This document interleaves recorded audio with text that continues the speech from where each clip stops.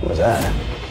You guys ready? Grant Wilson and his team head into the nation's most haunted locations This house doesn't want me to leave. to help people confront Something's going on here. terrifying paranormal encounters. These arms knocked me down. Whatever this is that's here, it's scary. Oh, Oh wow, wow, wow, wow, wow. Oh. Bam, right there. Yeah, there it is. See it?